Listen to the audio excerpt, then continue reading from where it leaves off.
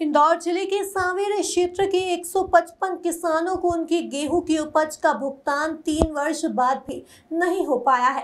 गेहूँ खरीदने वाले व्यापारी फरार है और मंडी अधिकारी और पुलिस भी कुछ नहीं कर रही है।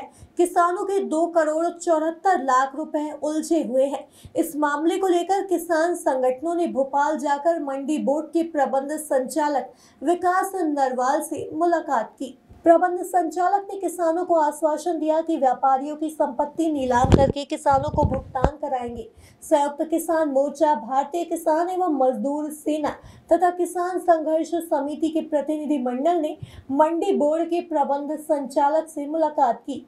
प्रतिनिधि मंडल ने उन्हें पिछले तीन वर्षों से 155 किसानों का बकाया भुगतान न होने के बारे में दस्तावेजी सबूत सौंपे। साथ ही मांग की कि बकाया का भुगतान मंडी निधि से किया जाए। प्रतिनिधि मंडल में रामस्वरूप मंत्री बबलू जाधव शैलेंद्र पटेल और लाखन सिंह डाबी शामिल थे।